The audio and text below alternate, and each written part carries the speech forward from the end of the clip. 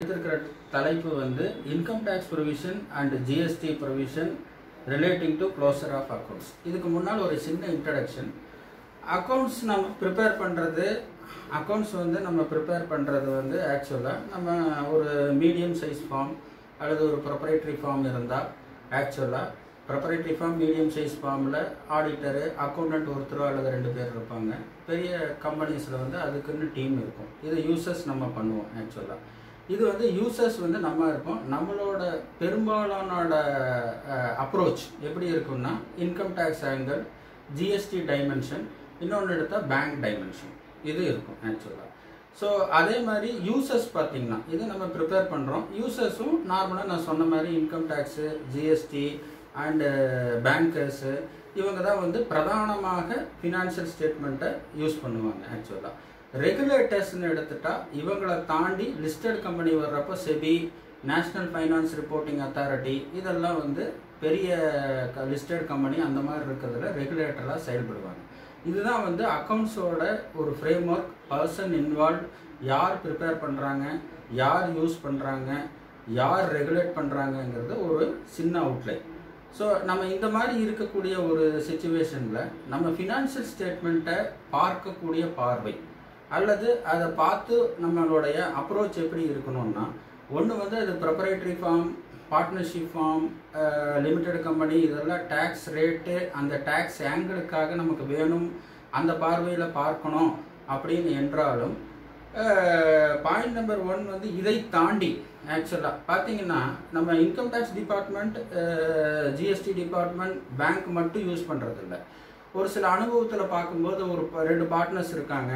ரெண்டு பார்ட்னர்ஸில் சில டிஸ்பியூட் வந்துருச்சு. அவர் இவர் இதை இந்த மாதிரி இருக்குது கணக்கு சரியில்லை அப்படின்னு சொல்லி சில டிஸ்பியூட்ஸ் வர்றப்போ நம்மளோட ஃபினான்ஷியல் ஸ்டேட்மெண்ட்ஸை லீகல் ஃபாரம் கூட யூஸ் பண்ணக்கூடிய ஒரு வாய்ப்பு இருக்குது அதே மாதிரி ஜிஎஸ்டி டிபார்ட்மெண்ட்டில் இன்டெலிஜென்ஸ் இருக்குது ஸோ நம்மளுடைய பார்வை நம்ம ப்ரிப்பேர் பண்ணும்போது ஜஸ்ட் டேலி தானே. இன்கம் டேக்ஸில் இவ்வளோ டேக்ஸ் கட்டுறோம்.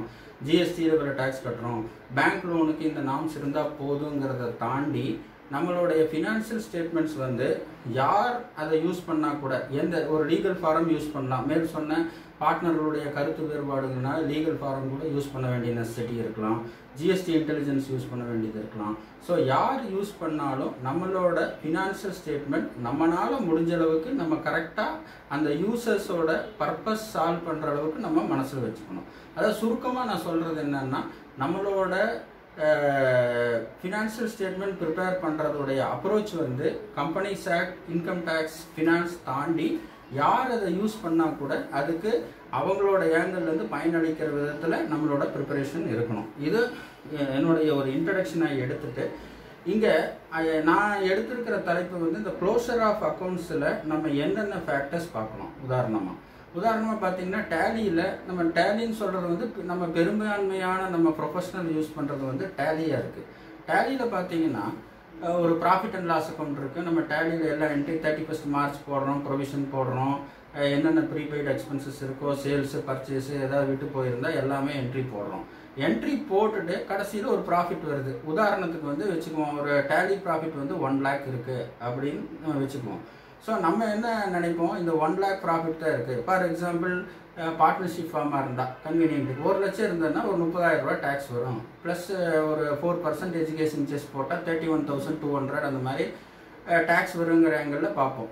ஆனால் டேலி ப்ராஃபிட் வந்து ஒரு லட்சம் இருந்தால் கூட அது நம்ம டோட்டல் இன்கம் ஸ்டேட்மெண்ட்டுன்னு ஒன்று ப்ரிப்பேர் பண்ணுவோம். ஏன்னா பிஎன்எல் அக்கௌண்ட்டுக்கும் பிஎன்எல் அக்கௌண்ட்டோட ப்ராஃபிட்டை ஒரு ஆரம்ப நிலையாக வச்சுட்டு அந்த ஆரம்ப நிலையிலிருந்து டேக்ஸபிள் ப்ராஃபிட் அரைவேட் பண்ணுவோம்.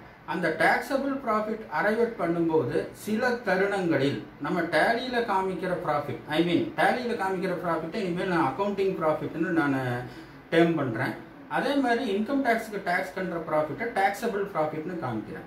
நம்ம டேலி ஃபைனலைஸ் பண்ணும்போது சில நேரத்தில் ஒரு அமௌண்ட் ப்ராஃபிட்டாக இருக்கும். ஆனால் அது டேக்ஸபிள் ப்ராஃபிட்டாக மாறும்போது அது வந்து ஜாஸ்தி ஆகலாம் இல்லை குறையக்கூட வாய்ப்பு இருக்குது டேலியில் ஒன் லேக் இருக்கிறது.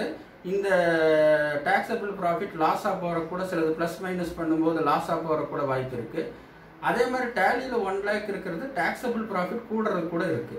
ஸோ அதனால நம்ம இந்த வருஷம் thirty first March two thousand twenty one accounts close பண்ணும்போது அக்கௌண்டிங் ஆங்கிளில் அக்கௌண்டிங் ப்ராஃபிட் இருக்குது பட் சில அக்கௌண்டிங் ப்ராஃபிட்டை இன்கம் டேக்ஸ் ஸ்டேட்மெண்ட் ரெடி பண்ணும்போது சில ப்ரொவிஷன்கள் அக்கௌண்டிங் ப்ராஃபிட்டை இன்க்ரீஸ் பண்ணுறதுக்கு வாய்ப்பு இருக்குது அக்கௌண்டிங் ப்ராஃபிட்டை டிக்ரீஸ் பண்ணவும் வாய்ப்பு இருக்குது ஸோ அதனால் நம்ம டேலி ப்ரிப்பேர் பண்ணிவிட்டு அதில் வர்ற புக் ப்ராஃபிட்டை வச்சுட்டு இவ்வளவு தான் டேக்ஸ் வரும் அப்படிங்கிற ஒரு அப்ரோச்சில் போனோம்னா கடைசியில் டோட்டல் இன்கம் ஸ்டேட்மெண்ட் பண்ணும்போது நம்ம தீர்மானிச்சிருக்கிற ஒரு டேக்ஸ் லைபிலிட்டியோ அல்லது நம்ம நினச்சிருக்கிற ஒரு டேக்ஸ் இவ்வளோ தான் வரும் அப்படின்னு சொல்லி அந்த கன்சர்ன் ப்ரொப்பரேட்டரையோ பார்ட்னரையோ நம்ம சொல்லியிருப்போம் கடைசியில் பார்த்தா இந்த ப்ரொ ப்ரொவிஷன் எல்லாம் நம்ம ஆட் பண்ணி பார்க்கும்போது கடைசியில் டேக்ஸபிள் ப்ராஃபிட் எங்கேயோ போய் நிற்கும்.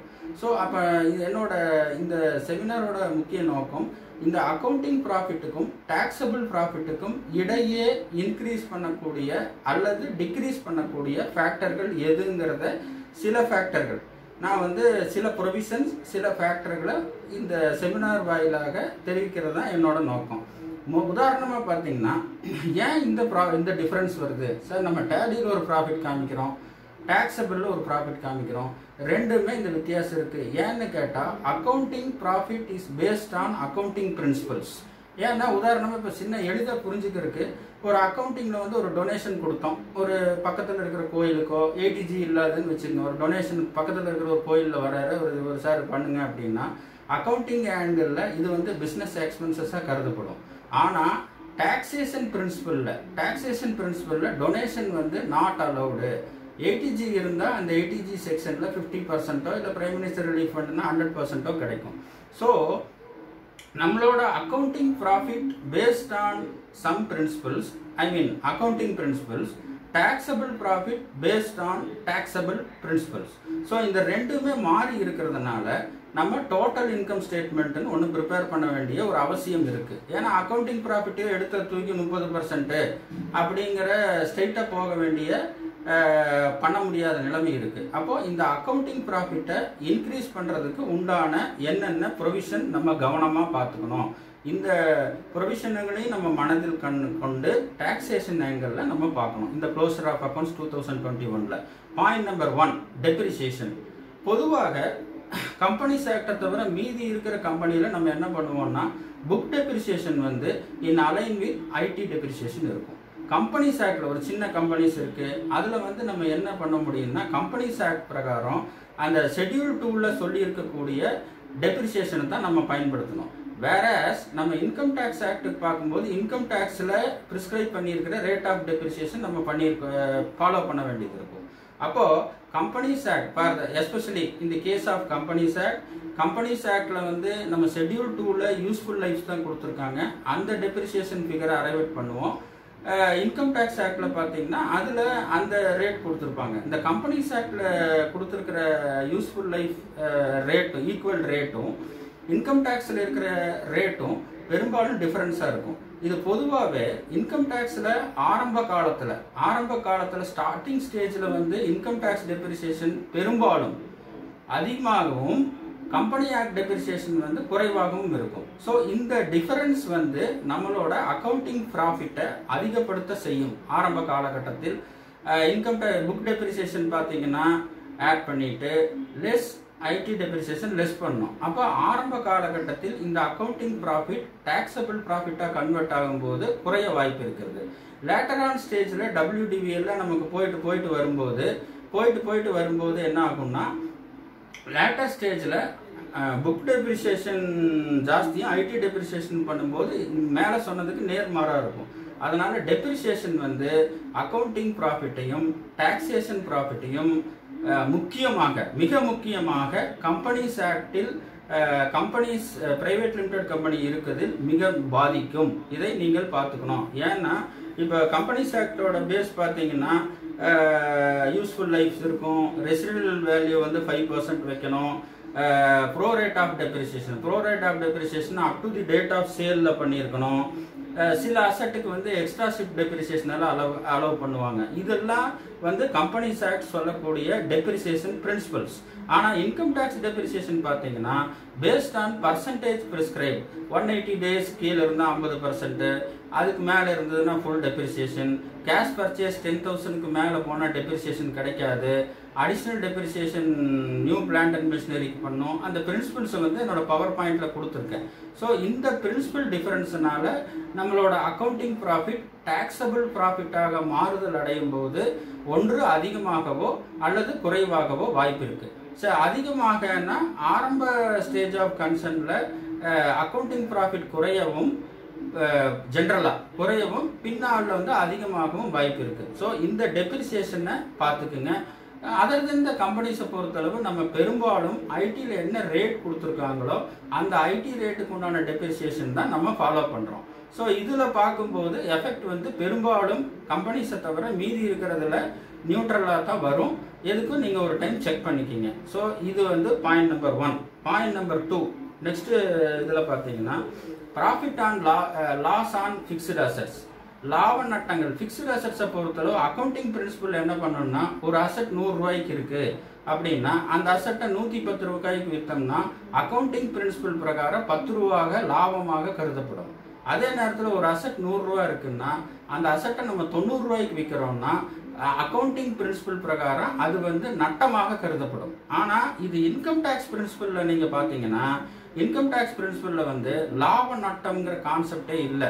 ஒன்று அந்த block of block of asset block of asset concept தான் இன்கம் டேக்ஸில் இருக்குது பிளாக் ஆஃப் அசட்னா அசட்டில் வந்து நம்ம வந்து furniture plant and machinery land and பில்டிங்னு பிரிக்கிறது மா பிரிக்கிற மாதிரி இன்கம் டேக்ஸ் கோணத்தில் என்னன்னா எந்தெந்த அசட்டுக்கெல்லாம் பர்சன்டேஜ் ஆஃப் டெப்ரிசியேஷன் சேமாக இருக்கோ அதெல்லாம் பிளாக் ஆஃப் அசட்டுங்கிற ஒரு கான்செப்டில் கொண்டு வரும்.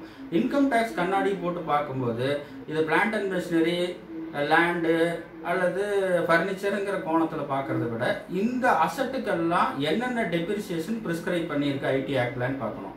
இந்த டெப்ரிசியேஷன் ப்ரிஸ்கிரைப் பண்ணதெல்லாம் ஒரே மாதிரி டெப்ரிசியேஷன் ரேட்டாக இருந்தால் இது பிளாக் ஆஃப் அசட் கான்செப்ட்ங்கிறது இன்கம் டேக்ஸ் பிரின்சிபல் பிரகாரம். ஸோ இன்கம் டேக்ஸ் பிரின்சிபல் பிரகாரம் நமக்கு என்ன வரும்னா அந்த block of block of asset exhaust ஆயிடுச்சுன்னா ஒருவேளை அந்த பர்சன்டேஜ் இருக்கக்கூடிய அசட் அது பிளான்ட் அண்ட் மிஷினரி பார்த்தீங்கன்னா உதாரணத்துக்கு பிளான்ட் அண்ட் மிஷினரிக்கு காருக்கு சேம் டெப்ரிசியேஷன் இருக்கும். அந்த பிளாக் பிளாக் ஆஃப் அசட்டை எக்ஸாஸ்ட் ஆயிடுச்சுன்னா நமக்கு ஷார்ட் டைம் கேபிட்டல் கெயின் வரும். அந்த block of block of asset வந்து இருந்ததுன்னா அந்த அசட்டுக்கு நம்ம கம்மியாக டெப்ரிசியேஷன் தான் கிளைம் பண்ணுவோம். ஸோ இதுலேருந்து என்னென்னா அக்கௌண்டிங் பிரின்சிபல் பிரகாரம் லாபங்கள் லாப அசட்டுக்கு உண்டான லாபமும் அசட்டுக்கு உண்டான நட்டமும் வரவு செலவாக கருதப்படும். ஆனால் இன்கம் டேக்ஸை பொறுத்தளவு இது அந்த பிளாக் எக்ஸாஸ்ட் ஆனால் ஒழிய மீதி இருக்கிற தருணத்தில் இது லாப நட்டமாக கருதப்படாது. டெப்ரிசியேஷன் மட்டும் நமக்கு கம்மியாக பண்ணும். ஸோ இந்த பிரின்சிபல் டிஃபரன்ஸும் உங்களோட அக்கௌண்டிங் ப்ராஃபிட்டை டாக்ஸபிள் ப்ராஃபிட்டாக இன்க்ரீஸ் பண்ணுறதுக்கோ அல்லது டிக்ரீஸ் பண்ணுறதுக்கோ ஒரு வாய்ப்பு இருக்குது இந்த பிரின்சிபலில் நான் பவர் பாயிண்டில் கொடுத்துருக்கேன். இதையும் பார்த்துக்குங்க. அடுத்து point number three interest on borrowed capital interest on borrowed கேபிட்டல்னா நம்ம சிசி லிமிட் வாங்கியிருப்போம். டேம் லோன் வாங்கியிருப்போம். பெரும்பாலும் நம்ம என்ன பண்ண போகிறோம் சிசி பேங்க்லேருந்து சிசி லிமிட் வாங்குவோம். அல்லது டேம் லோன் வாங்குவோம். இந்த ரெண்டை தவிர நம்ம வேறு பெரும்பாலும் பேங்க்கில் எதுவும் இல்லை. அதுதான் ப்ராடக்ட் ஆக்சுவலாக இப்போ உதாரணத்துக்கு டேம் லோன் எடுத்துக்குவோம். டேம் லோன் எடுத்துட்டு டேம் லோனை பொறுத்தளவு டேம் லோன் வந்து ஒரு ஃபிக்ஸ்டு அசட்ஸ் பர்ச்சேஸ் பண்ணுறதுக்காக வாங்குறோம். ஒரு பிளான்ட் அண்ட் மிஷினரி வாங்குகிறோம் ஒரு இருபது லட்ச ரூபாய்க்கு வந்து டேம் லோன் வாங்குறோம் ஒரு பேங்க்லேருந்து அந்த பேங்க்ல இருக்கிறத வந்து என்டியூஸ் வந்து ஒரு பிளான்ட் அண்ட் மிஷினரி பர்ச்சேஸ் பண்ணுறதுக்காக வாங்குறோம். நார்மலாக பிளான்ட் அண்ட் மிஷினரி எப்போ பர்ச்சேஸ் பண்ணுறோமோ அது இன்ஸ்டலேஷன் வந்து ஒரு நாள் ரெண்டு நாளில் நம்மளால இன்ஸ்டால் பண்ண முடியும். ஆனால் சில தருணங்கள் சில technical high value plant and machinery item எல்லாம் என்ன பண்ணோம்னா வாங்கின அன்னைக்கே நம்ம வந்து ஃப்ரிட்ஜ் மிக்ஸி வைக்கிற மாதிரி வச்சு ஓட்ட முடியாது ஆக்சுவலாக ஸோ வாங்கிட்டு அதை இன்ஸ்டால் பண்ணி அதுக்கு அந்த எர்த் கிரவுண்ட்லேருந்து ப்ரிப்பேர் பண்ணி சில டெக்னிக்கல் ஃபெசிலிட்டிஸு எலக்ட்ரானிக் ஃபெசிலிட்டிஸ் இதெல்லாம் ப்ரிப்பேர் பண்ணி அதை வந்து ஓட வைக்கிறதுக்கு ஒரு குறைஞ்சபட்சம் ஒரு மாதத்துலேருந்து அந்த பிளான்ட் அண்ட் மிஷினரி உண்டான டெக்னிக்கல் இதுக்கு தகுந்த மாதிரி கால அளவு அதிகமாக இருக்கும். உதாரணமாக நம்ம வந்து எடுத்துக்குவோம் ஒரு பிளான்ட் அண்ட் மிஷினரி இன்றைக்கி வாங்குறோம். அதை வந்து நம்ம இயக்கிறதுக்கு ஒரு கிரவுண்டு எர்த்து பிளான்லேருந்து இருந்து அதுக்கு உண்டான ஃபெசிலிட்டி எல்லாம் ஒரு ரெண்டு மாதம் ஆகுதுன்னு வச்சுக்குவோம். அப்போது அந்த டேர்ம் லோன் வாங்குறப்போ அந்த அசட் வாங்கின தேதிக்கும் அந்த அசட் வந்து ரியலாக ப்ரொடக்ஷன் அந்த ரன் ஆகிற தேதிக்கும் உண்டான இன்ட்ரெஸ்ட்டை வந்து நம்ம அந்த அசட்டோட கேபிட்டலைஸ் பண்ணணும்.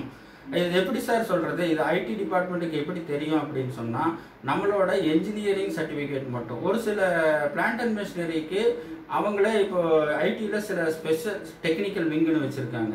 இந்த பிளான்ட் அண்ட் மிஷினரி இவ்வளோ நாள் இன்ஸ்டால் ஆக ஆகும் குறைஞ்சபட்சம். வந்தோடனே எடுத்தோடனே கார் வாங்கினோடனே எடுத்தோடனே ஸ்டேரிங் போட்டு ஓட்டுற மாதிரி ஆகாது. கொஞ்சம் டைம் ஆகுங்கிறது தெரியும். ஸோ அந்த மாதிரி இருக்கிற தருணத்தில் இப்போ நீங்கள் கான்சென்ட்ரேட் பண்ண வேண்டிய பாயிண்ட் டேம் லோன் வாங்கியிருக்கோமா? ஒன்று ரெண்டாவது இந்த டேம் லோனை வந்து நம்ம ஃபிக்ஸ்டு அசஸ் பர்ச்சேஸ் பண்ணுறதுக்காக யூஸ் பண்ணியிருக்கோமா? ஆமாம் அசட் பர்ச்சேஸ் பண்ண அன்னைக்கே ப்ரொடக்ஷன் ரன் ஆயிருச்சா? இல்லை ப்ரொடக்ஷனுக்கு சர்வீஸுக்கு ஹெல்ப்ஃபுல்லாக இருக்கா? இல்லை சிறிது அதை நிறுவனம் பண்ணி அதை ஃபங்க்ஷன் பண்ணுறதுக்கு கொஞ்சம் கால அளவு தேவைப்பட்டிருக்கா? அப்போ அந்த புரோக்கன் பீரியடுக்கு உண்டான இன்ட்ரெஸ்ட்டை கரெக்டாக கேபிட்டலைஸ் பண்ணியிருக்கோமாங்கிறதையும் நீங்கள் பார்க்கணும். ஏன்னா வெறுமனே இன்ட்ரெஸ்ட் ஆன் டைமில் வந்தான் சார் ஃபிக்ஸ்டு அசட்ஸ் தானே சார் டெபிட் பண்ணிடலாம் சார் செலவு அளவு பண்ணிடலாம் சார் இந்த கன்க்ளூஷனுக்கு போகாதீங்க. இது ஒன்று அடுத்தது வந்து interest on term loan term loan CC பெரும்பாலும் சிசி தான். டேம் லோன்னு போட்டிருக்கேன் பவர் பாயிண்டில் பட் பர்சனல் பர்பஸுக்கு எப்படி யூஸ் பண்ணுவோம்னா ஒரு சிசி லிமிட் வாங்குவோம். சிசி லிமிட் வாங்கிட்டு உடனே நம்ம மகன் கல்யாணமோ மக கல்யாணமோ யாரோ கல்யாணம் இருக்கும். இந்த பக்கம் ப்ரொப்பரேட்டரி டிராயிங்ஸாக போட்டு எடுத்துடுறது. இப்போ சிசி லிமிட் டாப் அப் பண்ணுறது இல்லை ஒரு இருபது லட்சம் இருக்கும் ஒரு பத்து லட்சம் ஜாஸ்தி வாங்குறது டாப் அப் பண்ணுறது டாப் அப் பண்ணி ஃபண்ட்ஸ் வந்து ரெண்டு மூணு நாளையே அந்த நம்ம ஒரு நல்ல திருமணத்துக்கோ இல்லை நம்ம உறவினர் திருமணத்துக்கோ நம்ம மகன் மகள் திருமணத்துக்கோ உடனே டைவெர்ட் பண்ணுறது அந்த ஃபண்ட்ஸை அங்கே இருக்கிற ஒரு மெஸ்ஸுக்காக கொடுக்கறது இல்லை மண்டபத்துக்காக அந்த மாதிரி கொடுக்குற மாதிரி இருந்தால் அந்த அஃப்கோர்ஸ் சிசி லிமிட் வந்து டைவெர்ட் பண்ணக்கூடாதுன்னு ஒரு சர்டிஃபிகேட் பேங்க்கில் வாங்குறாங்க. பட் இன்கம் டேக்ஸ் கான்டெக்ட்ஸில் பார்க்கும்போது ஒரு சிசி லிமிட்டுங்கிறது பிஸ்னஸை டே டு டேயில் நடத்துறதுக்கு தேவையான ஒரு பணம். அதுக்கு அந்த பிஸ்னஸ்க்காக யூஸ் பண்ணால் மட்டும்தான் அந்த இன்ட்ரெஸ்ட் பண்ணும். பர்சனல் பர்பஸ்க்காக டைவெர்ட் பண்ணியிருந்தால் அந்த interest to the extent allow ஆகும் டிஸ்அலவ் ஆகும். ஸோ அப்போ மூணாவது பாயிண்ட் வந்து பார்த்தீங்கன்னா இன்ட்ரெஸ்ட் வந்து இப்போ சிசி லிமிட் வாங்குகிறோம் ஒரு இன்வெஸ்ட்மெண்ட்டுக்காக நம்ம பிஸ்னஸுக்கு யூஸ் பண்ணாமல் ஒரு ஷேரில் இன்வெஸ்ட் பண்ணுறதுக்காக பண்ணுறோம் அந்த ஷேர்ஸ்லேருந்து டிவிடெண்ட் வருதுன்னா அந்த இன்வெஸ்ட்மெண்ட் எவ்வளோ பண்ணியிருக்குமோ ப்ரப்போர்ஷனேட்டாக இன்ட்ரெஸ்ட் டிசலவ் ஆகிறதுக்கு ப வாய்ப்பு இருக்குது ஸோ அப்போ interest and borrowed கேபிட்டலில் number one fixed assets purchase and installation broken period interest capitalise பண்ண வேண்டும். பர்சனல் பர்பஸுக்காக ஃபண்ட்ஸை நம்ம ரூட் பண்ணியிருந்தோம்னா அந்த இன்ட்ரெஸ்ட்டை டிஸ்அலவ் பண்ணணும். மூணாவது வந்து இன்வெஸ்ட்மெண்ட் பர்பஸுக்காக நம்ம பண்ணியிருந்தோம்னா அந்த இன்வெஸ்ட்மெண்ட்லேருந்து வர்ற இன்கம் வந்து எக்ஸம்டடாக இருக்கக்கூடிய பட்சத்தில் அந்த இன்ட்ரெஸ்ட் டிஸ்அலவ் ஆகும் ஸோ இந்த மூணு ஃபேக்டரும் பார்க்கணும். அடுத்தது பார்த்தீங்கன்னா நாலாவது point TDS on non resident உதாரணமாக நம்ம பிஎன்எல் பார்க்கும்போது அக்கௌண்ட்ஸில் வந்து ஃபாரின் பேமெண்ட் ஏதாவது இருந்தால் ட்ராவலிங் எக்ஸ்பென்சஸ்லையோ இல்லை ஒரு டெக்னிக்கல்லையோ ஒரு கன்சல்டன்சி சார்ஜஸ்லையோ இதெல்லாம் இருந்தால் நம்ம வந்து இதை வந்து மிக உன்னிப்பாக கவனிக்க வேண்டும். ஏன்னு கேட்டால் TDS on foreign payment TDS on domestic பேமெண்ட்டாவது TDS பிடிக்கல. இந்த one ninety two two one ninety four H one ninety four எல்எல்லாம் இருந்ததுன்னா தேர்ட்டி பர்சன்ட் தான் டிஸ்அலவ் ஆகும். நான் ரெசிடென்ட் பேமெண்ட்டுக்கு நம்ம டிடிஎஸ் பிடிக்காமல் இருந்தால் ஹண்ட்ரட் பர்சன்ட் பேமெண்ட் டிஸ்அலவ் ஆகும். ஸோ இது எப்படி பிடிக்கிறதா இல்லையா அப்படின்னா நம்ம பிஎன்எல்ல ஃபாரின் கன்சல்டன்ட்டுக்கு ஏதாவது கன்சல்டன்சி சார்ஜஸ் கொடுத்துருக்கோமா? ஈவன் டிராவல் பண்ணியிருந்தா கூட அதை ஸ்க்ரூட்டினி பண்ணணும். ஆனால் ஃபாரின் பேமெண்ட் பண்ணுறதுனாலயே அது சப்ஜெக்ட் டு டிடிஎஸ் ஆகுங்கிற ஒரு முடிவுக்கு நம்ம போக முடியாது. ஃபாரின் பே பேமெண்ட் ஆயிருக்காங்கிறத செக் பண்ணுறது ஒரு ஸ்டெப்பு ரெண்டாவது ஸ்டெப்பு அந்த ரெசிப்டண்ட்டுக்கு ஐ மீன் நான் ரெசிடென்ட்டுக்கு வந்து அது இந்தியாவில் டாக்ஸபிள் ஆகுமாங்கிறது செக்ஷன் நைன் பிரின்சிபல் பிரகாரம் செக் பண்ணணும். பொதுவாக அப்போ ரெண்டு ஸ்டெப்பு ஒன்று ஃபாரின் பேமெண்ட் இருக்காங்கிறத நோட் பண்ணணும்.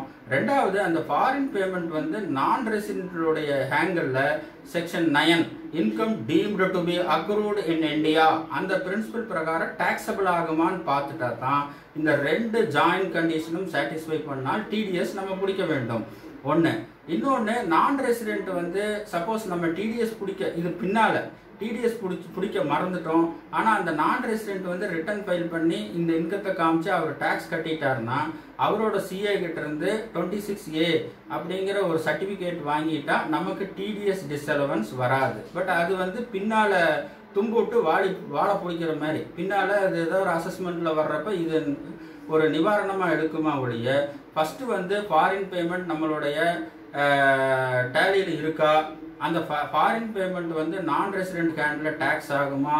அந்த டேக்ஸை வந்து நிர்ணயம் செய்ய செக்ஷன் நைனை அப்ளை பண்ண வேண்டும். ஸோ இந்த டேக்ஸ் லைபிலிட்டினால உங்களுக்கு hundred percent accounting profit taxable profit ஆகும்போது ட்ரிக் பண்ண வாய்ப்பு இருக்குது இன்னொன்று நான் ரெசிடென்ட்டுக்கு நம்ம பே பண்ணும் இது பேமெண்ட் பண்ணும்போது ஈவன் இந்த அவரோட ஆடிட்டர் யார் அவர் டேக்ஸ் கட்டுறாரா இல்லையாங்கிறத ட்ரேஸ் பண்ணுறது கூட இந்த டுவெண்ட்டி சிக்ஸ் ஏ ப்ரொவிஷன் வந்து லீகலாக இருந்தால் கூட நடைமுறையில் சில சிரமங்களை உண்டு பண்ணும்.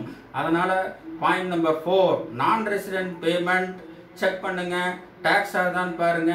டேக்ஸ் ஆகுதுன்னா டிடிஎஸ் டிடெக்ட் பண்ணுங்க. இல்லாட்டி ஹண்ட்ரட் பர்சன்ட் டிசலவ் ஆகிடும் இது நாலாவது பாயிண்ட் அடுத்த பாயிண்ட் வந்து டிடிஎஸ் ஆன் ரெசிடென்ட் பேமெண்ட் இது நிறைய செக்ஷன் நம்ம செமினார் எடுத்தாச்சு. டிடிஎஸ் ஆன் ரெசிடென்ட் பேமெண்ட்டையும் செக் பண்ணிக்கிங்க. இல்லைன்னா thirty percent taxable profit disallow ஆகும். அஃப்கோர்ஸ் லேட்டர் ஆன் நம்ம வந்து அந்த கன்சர்ன் யார் ரிசீவ் இன்கம் ரிசீவ் பண்ணாங்களோ அவங்களோட டோட்டல் இன்கமில் இதை அலோவ் பண்ணி அவர் டேக்ஸ் கட்டியிருந்து அந்த சார்ட்டர்ட் அக்கௌண்ட் அவரோட சார்ட்டர்ட் அக்கௌண்ட் இருந்து ஃபார்ம் டுவெண்ட்டி சிக்ஸ் ஏங்கிற சர்டிஃபிகேட் வந்தால் நம்ம டிஸ்அலவன்ஸை தவிர்க்கலாம். பட் இது இருக்குது எஸ்பெஷலி இந்த டிடிஎஸில் எங்கே மிஸ் பண்ணுவோன்னா ஆடிட் ஃபீஸ் ப்ரொவிஷன் கடைசியாக போடுவோம். நம்ம எல்லாம் ஆடிட் எல்லாம் முடிச்சுட்டு ஃபைல் பண்ணுறதுக்கு ரெடியானோன்னே நம்ம ஸ்டாட்டிக்ஸை பார்த்துட்டு அந்த அக்கௌண்ட்டுனால நமக்கு எந்த அளவுக்கு அந்த அக்கௌண்டிங் ஒர்க்கில் நம்மளோட டைம் இன்வால்வ் ஆச்சு கம்மியாக இருக்கா ஜாஸ்தி இருக்கா அக்கௌண்ட்ஸ் வந்து ஓரளவுக்கு இருந்தால் சுமாராக இருந்ததா இதெல்லாம் பார்த்துட்டு தான் நம்ம ஆடிட் ஃபீஸை டிசைட் பண்ணுவோம். எஸ்பெஷலி இந்த ஆடிட் ஃபீஸ் முப்பதாயிரத்துக்கு மேலே போகிறப்போ இந்த ஏன்னா இது ஆக்சுவலாக டிசைட் பண்ணுறது வந்து தேர்ட்டி ஃபஸ்ட் மார்ச்சுக்கு அப்புறம் அப்கோர்ஸ் செப்டம்பராக இருந்தால் அந்த ஆடிட் முடிகிறதுக்கு ஒரு வாரம் பத்து நாளைக்கு முன்னால் தான் இதை டிசைட் பண்ணுவோம். இதுக்கு டிடிஎஸ் பிடிச்சிருக்கான்னு பார்த்துட்டு ரிவைஸ் ரிட்டர்ன் பண்ண முடியுமான்னு பாருங்கள் அதே மாதிரி போனஸுக்கு நம்ம ப்ரொவிஷன் போட்டு வச்சுருவோம் போனஸ் ப்ரொவிஷன் போட்டுட்டு அந்த போனஸ் ப்ரொவிஷனை வந்து நம்ம தேர்ட்டி செப்டம்பருக்குள்ளே பே பண்ணால் தான் ஃபார்ட்டி த்ரீ பிங்கிறது இருக்குது அது டிடிஎஸ் பாயிண்டில் வராது. போனஸ் பாயிண்ட் எம்டி ரெமினரேஷன் பொதுவாக எம்டி ரெமினரேஷன் நம்ம கரெக்டாக பிடிச்சிருவோம்.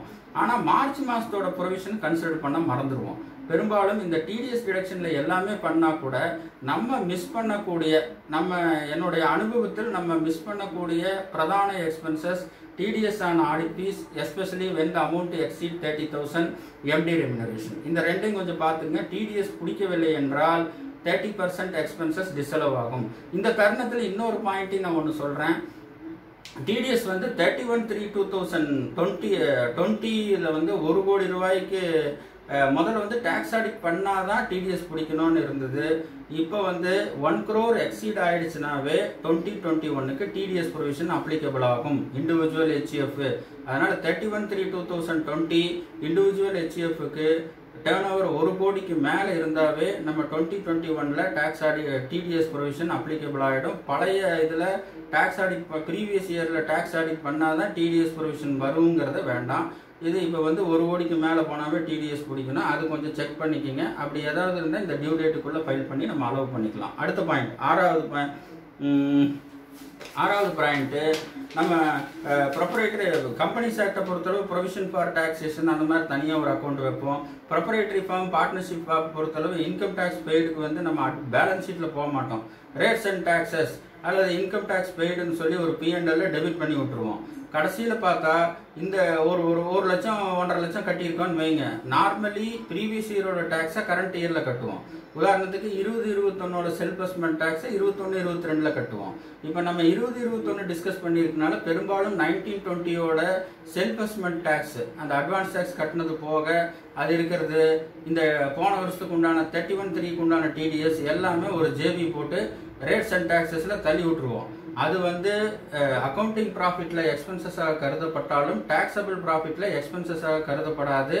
இந்த இன்கம் டேக்ஸோ இல்லை வேறு ப்ரீவியஸ் இயர் டிடிஎஸோ ஏதாவது நம்ம எக்ஸ்பென்சஸில் எழுதியிருந்தால் அது வந்து அக்கௌண்டிங் ப்ராஃபிட்டை இன்க்ரீஸ் பண்ணி டேக்ஸபிள் ப்ராஃபிட்டை அதிகப்படுத்தி விடும். இதையும் கொஞ்சம் பார்த்துங்க அடுத்தது எம்ப்ளாய் அடுத்தது employee contribution to PF employee contribution to PF amendment வந்து இப்போ டுவெண்ட்டி எயித் மார்ச்லேயே நோட்டிஃபை ஆயாச்சு.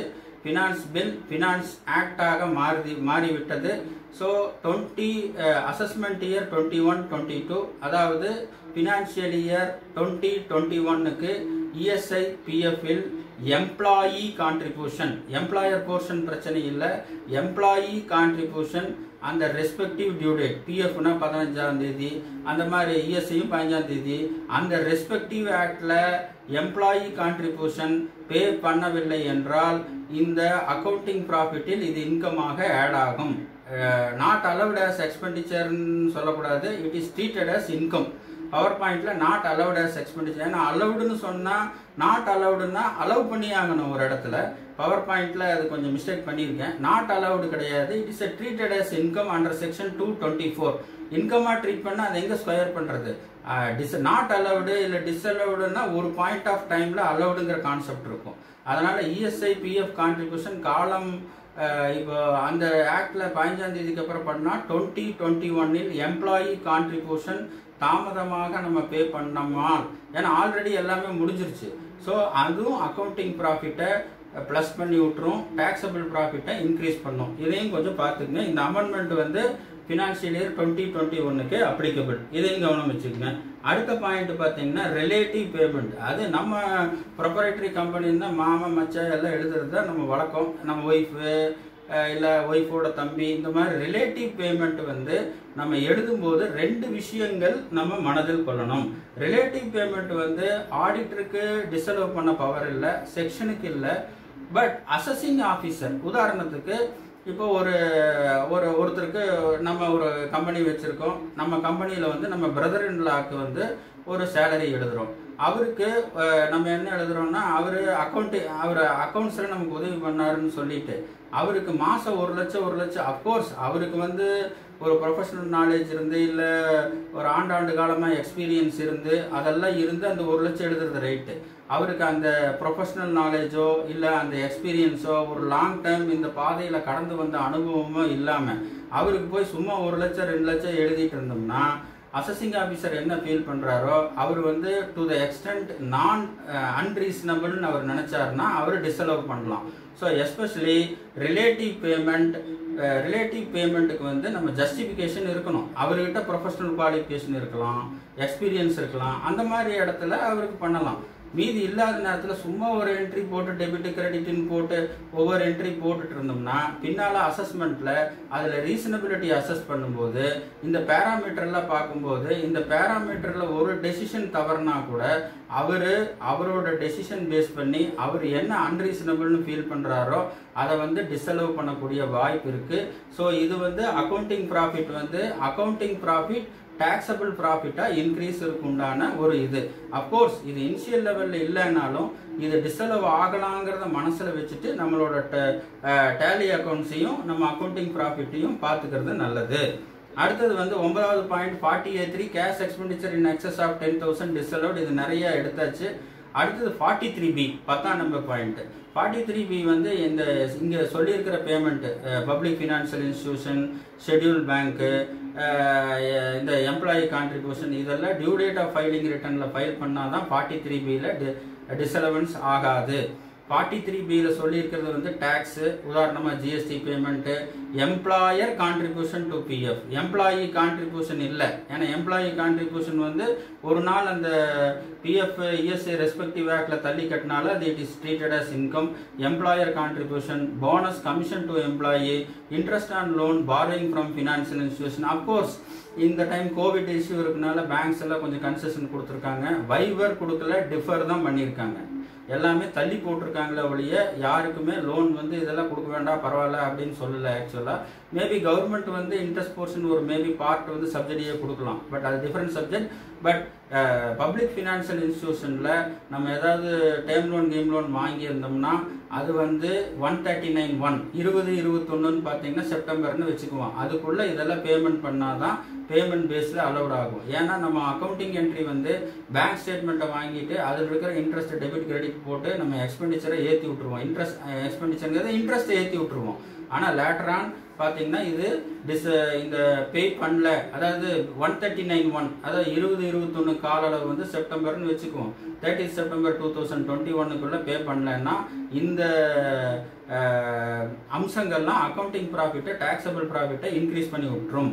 அடுத்து capital and revenue expenditure point number eleven capital and எக்ஸ்பென்ஸுங்கிறது பெரிய சார்பு. ஏன்னா போய் ஒரு கார் வாங்கினா கூட ப்ரைபர்ஸ் அண்ட் மெயின்டெனன்ஸில் டெபிட் பண்ணிட்டோம்னா பெரிய கஷ்டமாக போயிடும் பேட்டரி வாங்குறது கம்ப்யூட்டர் வாங்குறது. பெரும்பாலும் கேபிட்டல் அண்ட் ரெவன்யூ எக்ஸ்பெண்டிச்சர் வித்தியாசப்படுத்துகிறப்போ கேபிட்டல் எக்ஸ்பெண்டிச்சருங்கிறது அந்த எக்ஸ்பெண்டிச்சர் இன்கர் ஒரு ஃப்ரைமா பேசி அதர் ஃபேக்டர் இருந்தாலும் மிக மிக முக்கியமான ஃபேக்டர் அந்த எக்ஸ்பெண்டிச்சரை இன்கர் பண்ணும்போது அதோட பெனிஃபிட் வந்து இந்த வருஷத்தையும் தாண்டி பின்னால் இருக்கிற வருஷத்துக்கு வரும்னா அது கேபிட்டல் எக்ஸ்பெண்டிச்சர் ரெவன்யூ எக்ஸ்பெண்டிச்சர்னா ரெவென்யூ எக்ஸ்பெண்டிச்சர்னா அதனுடைய பலன்கள் அந்த வருஷமே வந்துடும் இது ஒரு பிரின்சிபல் ரெண்டாவது பிரின்சிபல் வந்து பெரும்பாலும் ரீப்ளேஸ்மெண்ட் இன் நேச்சர் இப்போ பேட்டரி இருக்குது நம்ம ஆஃபீஸில் யூபிஎஸ் இருக்குது அப்படின்னு சொன்னால் யூபிஎஸ்ஸில் வந்து அந்த பேட்டரி வாங்குகிறோம் பேட்டரி வந்து அதனுடைய கெப்பாசிட்டியை இன்க்ரீஸ் பண்ணுறதுக்காக அடிஷ்னல் பேட்டரி போட்டால் it's treated as capital expenditure ஒரு பேட்டரி போயிருச்சு அது வந்து ரீப்ளேஸ் பண்ணுறோம்னா ரீப்ளேஸ்மெண்ட் பிரின்சிபல் இருந்ததுன்னா அது பெரும்பாலும் revenue expenditure so capital and revenue எக்ஸ்பெண்டிச்சருடைய principle கரெக்டாக ஃபாலோ பண்ணியிருக்கான்னு பாருங்கள் அதை மெயின் அதை செக் பண்ண வேண்டிய account repairs and maintenance account அடுத்து பன்னெண்டு personal expenditure debited to the profit and loss account நமக்கு ஏதோ ஒரு பெரும்பாலும் ப்ரொப்ரைட்டர் பார்ட்னராக இருக்கக்கூடிய கம்பெனியில் பர்சனல் எக்ஸ்பெண்டிச்சர் இல்லை வீட்டுக்கு சேரீ வாங்குறது வீட்டுக்கு கோல்டு வாங்குறதெல்லாம் கொண்டு போய் பிஸ்னஸ் ப்ரமோஷன் எக்ஸ்பென்ஸில் அடிச்சு விட்டுறது. கடைசியில் கேட்டால் கோல்டு காயின்னா கூட ஐ மீன் ஏதோ ப்ரெசன்ஸ் அந்த மாதிரி சொல்லலாம். ஸோ பர்சனல் எக்ஸ்பெண்டிச்சர் கிட்டத்தட்ட பர்சனல் எக்ஸ்பெண்டிச்சர் பிஎன்எல் அக்கௌண்ட்டில் ரூட் ஆகாமல் இருக்காங்கிறத பார்த்துக்குங்க. பெரும்பாலும் இந்த பர்சனல் எக்ஸ்பெண்டிச்சர் ரூட் ஆகக்கூடிய அக்கௌண்ட் வந்து business expense business promotion expenses staff welfare expenses general expenses இதிலெல்லாம் வந்து அந்த ப்ரொப்பரேட்டரோடதோ இல்லை அந்த பார்ட்னரோடோ அவங்களுடைய பர்சனல் எக்ஸ்பெண்டிச்சர் ஏதாவது இருந்தால் நாளைக்கு இந்த ஃபேஸ்லெஸ் அசஸ்மெண்ட் ஃபேஸ்லெஸ் அப்பீல் இதில் வந்து நம்ம கொஞ்சம் சிரமப்பட வேண்டியது இருக்கும். நம்மளுடைய tax life taxable profit increase ஆக இது காரணமாக அமையும். அதனால் டேக்ஸ் கட்ட வேண்டியது இருக்கும். So personal expenditure debited to அது எந்த ரூபத்தில் இருந்தாலும் பரவாயில்ல. நான் உதாரணமாக சாரி அண்ட் கோல்ட் காயின் சொன்னேன்.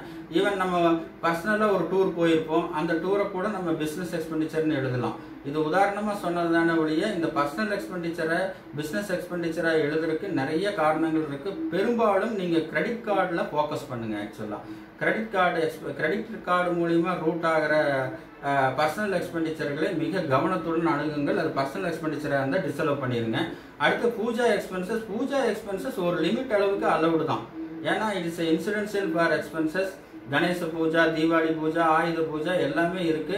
பட் இந்த ரீசனபிலிட்டிக்கு மேலே போகும்போது அது என்ன ரீசனபிலிட்டி அப்படிங்கிற அளவுகோல் வந்து இன்கம் டேக்ஸ் அசஸ் பண்ணுற அசஸிங் ஆஃபீஸர் தான் டிசைட் பண்ணுவார்.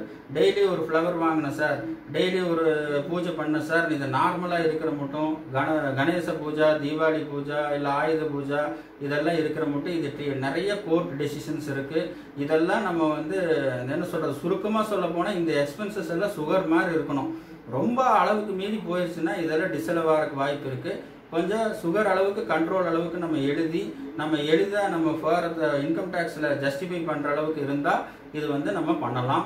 Generally puja expenses puja expense puja expenses for day to day pray of the god இது பூஜை இந்த கணேச பூஜை இது ஆயுத பூஜை இதெல்லாம் அலௌடு தான். பட் இதில் வந்து நம்ம வந்து ஒரு அந்த transaction nature number of employee எவ்வளோ பேர் இருக்காங்க அந்த கோயில் அந்த இதெல்லாம் மனசில் வச்சுட்டு நம்ம கரெக்டாக சுகர் மாதிரி கரெக்டாக எழுதணும்னா இந்த டிஸ்அலவன்ஸை தவிர்க்கலாம். அடுத்தது பதி அடுத்தது வந்து பதினாறு donation and contribution sir donation கொடுத்தேன். இந்த பதினாலாவது பாயிண்ட்டு பதினாறாவது பாயிண்ட்டு ஒன்று தான் corporate social responsibility donation contribution நான் கோயிலுக்கு கொடுத்தேன் சார் இருக்குது எல்லாமே ஏடிஜி இருந்தால் ஏடிஜி கிளைம் பண்ணோம் அக்கௌண்டிங் ப்ராஃபிட்டை வந்து டேக்ஸபிள் ப்ராஃபிட்டை ட்ரிக் பண்ணி விட்டுரும். ப்ரியர் பீரியட் எக்ஸ்பென்சஸ் இது பெரும்பாலும் போன வருஷம் ஒரு பில் விட்டு போச்சு சார். இதெல்லாம் இருக்குது அப்படின்னு சொன்னால் போன வருஷம் பில் விட்டு போய் கரண்ட் இயரில் எக்ஸ்பெண்டிச்சர் எழுதுனா டிசலவ் பண்ணுறக்கு இருக்குது ஒரே ஒரு இது என்ன இருக்குன்னா போன வருஷம் நம்ம பண்ணியிருக்கோம் ஆனால் அது கிறிஸ்டலைஸ் ஆகலை. அது தீர்மானம் ஆகலை. போன வருஷம் ஆன எக்ஸ்பெண்டிச்சர் தான். ஆனால் அதை தீர்மானம் இந்த வருஷம் தான் பண்ணுறோம் தீர்மானம் பண்ணி சப்சிக்வெண்ட்டாக பில் இந்த வருஷம் தான் வாங்குறோம்னா பிரச்சனையே கிடையாது. ஆனால் போன வருஷம் எக்ஸ்பென்சஸ் ப்ரியர் பீரியட் எக்ஸ்பென்சஸ் அப்படின்னு சொன்னால் அது வந்து நம்ம ரெண்டு ஃபேக்டர் போடணும். கிறிஸ்டலைஸ் பண்ணணுமா? இல்லை இந்த வருஷம் தான் இந்த வருஷம் பில் ஆச்சுன்னா கவலையே இல்லையா? அவருக்கு சொல்லவே வேண்டியதில்லை நம்ம பாட்டுக்கு எழுதிட்டு போயிடுவோம். அதனால் மிக கவனத்துடன் ப்ரியர் பீரியட் எக்ஸ்பென்சஸ் இந்த ரெண்டுடைய பேக்கப் இல்லாமல் நம்ம எழுதுனா டிஸ்அலவ் ஆகிறதுக்கு வாய்ப்பு இருக்குது அதனால் நம்ம டுவெண்ட்டி டுவெண்ட்டி ஒன் அக்கௌண்ட்ஸ் பார்க்கும்போது கூடிய மட்டும் நம்மளால் எந்த அளவுக்கு முடியுமோ எந்த அளவுக்கு இன்ஃபர்மேஷன் முடியுமோ மிஸ் ஆகாமல் எல்லா டைமென்ஷன்லையும் செக் பண்ணி இந்த எக்ஸ்பென்சஸை ப்ரியர் பீரியட் எக்ஸ்பென்சஸை அடுத்த வருஷத்துக்கு போகாமல் நம்மளால் முடிஞ்ச அளவுக்கு பார்த்துக்கிறது நல்லது. இல்லாட்டி இந்த ஃபேஸ்லெஸ் அசஸ்மெண்ட்டில் இது டிஸ்அலவ் ஆகக்கூடிய வாய்ப்புகள் இருக்குது கிறிஸ்டலைஸும் பில்லு ரிசீவ் பண்ணால் மட்டும் கரண்ட் இயரில் பண்ணணும். அந்த கிறிஸ்டலைஸுங்கிறது மேட்ரு ஆஃப் சப்ஜெக்டிவ் அவர் முடியும் பாரு முடியாதும் பாரு அதனால் என்னுடைய ஸ்ட்ராங்கான அபிப்பிராயம் பிரியர் பீரியட் எக்ஸ்பென்சஸ்ங்கிறது டிஸ்அலவ் ஆகக்கூடிய வாய்ப்புகள் அதிகம் அதனால் இந்த டுவெண்ட்டி டுவெண்ட்டி ஒனில் மிக கவனத்துடன் இதை அணுக வேண்டும். அடுத்தது வந்து ஜிஎஸ்டி ப்ரொவிஷன் இதெல்லாம் வந்து அக்கௌண்டிங் ப்ராஃபிட்டை டேக்ஸபிள் ப்ராஃபிட்டாக ஜாஸ்தி பண்ண கூட இதெல்லாம் மிக கவனத்தில் இருக்கணும். ஜிஎஸ்டி ப்ரொவிஷன் பார்த்தீங்கன்னா எலக்ட்ரானிக் கிரெடிட் லெஜர் அக்ரி பண்ணணும் கேஷ் லெஜர் லைபிலிட்டி அடுத்து accounting turnover versus three இப்போ நம்ம அக்கௌண்டிங் டேர்ன் ஓவர் காமிக்கிறோம். அதில் இருக்கிற three B turnover three B turnover of course twenty six இயர்ஸில் வருது. ஜிஎஸ்டிஆர் ஒன் இதிலெல்லாம் வந்து ஒரு ரெக்கன்சிலேஷன் ப்ரிப்பேர் பண்ணி வச்சுக்கிறது நல்லது. ஏன்னா இப்போ இந்த டேர்ன் ஓவர்ஸ் வந்து டிஃப்ரெண்ட் வெப்சைட்டில் டிஃப்ரெண்ட் வருது. அட்லீஸ்ட் இப்போ ஜிஎஸ்டி டேர்ன் ஓவர் வந்து டுவெண்ட்டி சிக்ஸ் இயர்ஸில் கூட ரிஃப்ளெக்ட் ஆகுது. பிரின்சிபலாக நம்மளோட accounting turnover taxable turnover GST turnover GSTR one twenty six AS எல்லாமே கிட்டத்தட்ட ஒரே இதில் டிஃப்ரென்ஸ் இல்லாமல் அக்ரி ஆகிறது நல்லது. டிஃப்ரென்ஸ் இருந்தாலும் அந்த டிஃப்ரென்ஸுக்கு உண்டான காரணங்களும் பிரின்சிபலும் நம்மக்கிட்ட ஒரு ஒர்க்கிங் ஃபைல் இருக்கிறது நல்லது.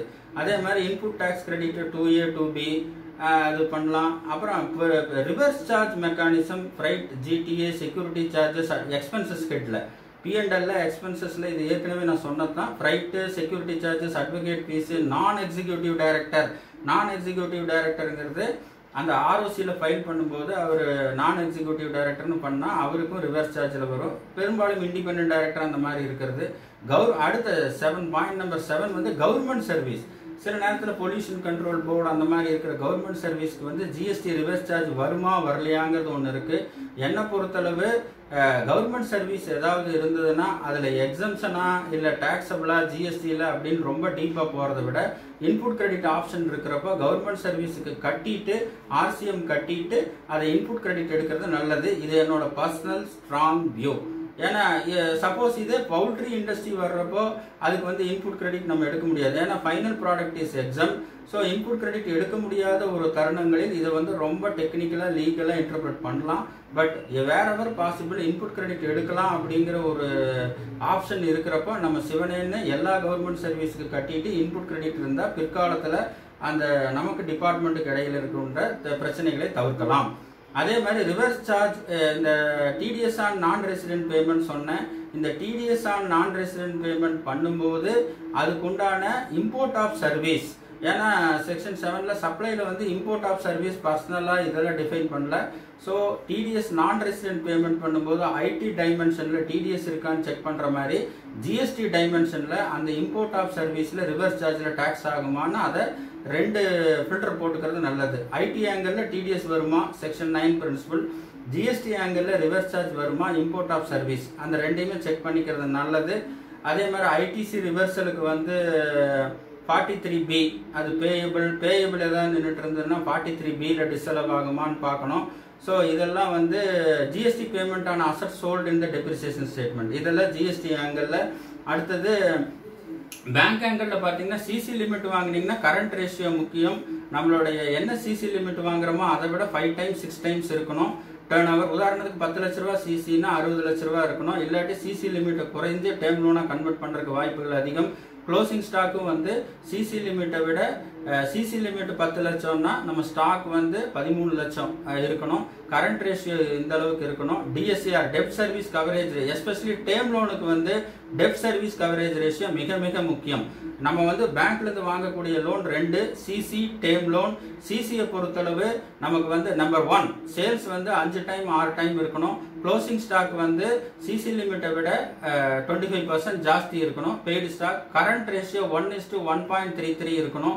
கரண்ட் அசட்னா என்ன? கரண்ட் லைஃப் டேம் லோனை பொறுத்தளவு டிஎஸ்சிஆர் தான் பார்க்குறாங்க டிஎஸ்சிஆர் எப்படி கால்குலேட் பண்ணுறதுங்கிறத நான் சொல்லியிருக்கேன்.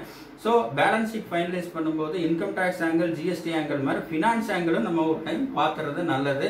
அடுத்தது பார்த்தீங்கன்னா இப்போ ரீசெண்ட் அப்டேட்ஸ் கொடுத்துட்டேன். ஃபார்ம் டுவெல் பிஏ கொடுத்துருக்கோம். ஃபினான்ஸ் பில் இருபத்தெட்டு மார்ச்லேயே நோட்டிஃபை ஆகிட்டாங்க ரொம்ப வேகமாக போகிறாங்க அப்புறம் வந்து registration of trust fund registration of trust ஃபண்டெல்லாம் இப்போ ரீ ரெஜிஸ்டர் பண்ணோம். அதுக்கு உண்டான ஃபார்ம் ஓப்பன் ஆயிடுச்சு. So twelve A eighty G இதெல்லாம் ரெஜிஸ்டர் பண்ணியிருந்தால் திருப்பி ரீ ரெஜிஸ்ட்ரேஷன் பண்ண வேண்டும். அதுக்கு உண்டான கால அளவு தொடங்குகிறது. அது பார்த்துக்குங்க. அதே மாதிரி தேர்ட்டி சி அதாவது form three சிடியில் GST GST clause GST in relating to information கொடுக்கணும் இருங்கிறத இன்னொரு வருஷம் தள்ளி வச்சுருக்காங்க. அடுத்தது பார்த்தீங்கன்னா ஷெட்யூல் த்ரீ அமெண்ட்மெண்ட் பண்ணியிருக்காங்க. ஷெட்யூல் த்ரீ கம்பெனிஸ் ஆக்டோட பேலன்ஸ் ஷீட் அமெண்ட்மெண்ட் பண்ணியிருக்காங்க. ஐடிஆர் ஃபார்ம் நோட்டிஃபை பண்ணியிருக்காங்க. அப்கோர்ஸ் சைட்டில் எனேபிள் ஆகலை. Audit trail one four two thousand twenty two audit trail நம்ம இவர் செந்தில் நல்லா சொன்னார். ஆடிட் ட்ரையல் வந்து ஆடிட் ட்ரையலுங்கிறது வந்து one four two thousand twenty two audit ட்ரையலுங்கிறது வேற ஒன்றும் இல்லை. நம்ம என்ன புக்ஸ் ஆஃப் அக்கௌண்ட்ஸ் அக்கௌண்ட்ஸ் முடிக்குதோ ஆடிட் நம்ம என்ன முடிக்கிறோமோ அந்த இன் பிட்வீன் இருக்கிற டிரான்சாக்ஷன் லாக் மெயின்டைன் பண்ணுறது தான் ஆடிட் ட்ரையல் அப்கோர்ஸ் இந்த கவலைகள் வந்து தவிர்க்கப்படவில்லை தள்ளி போடப்பட்டு இருக்கிறது அதே மாதிரி யூடிஎன் நம்பர் வந்து மிஸ் பண்ணால் எடுத்துக்கலாம். அடுத்தது வந்து இதுதான் என்னுடைய உரையை முடிக்கிறேன். ஸோ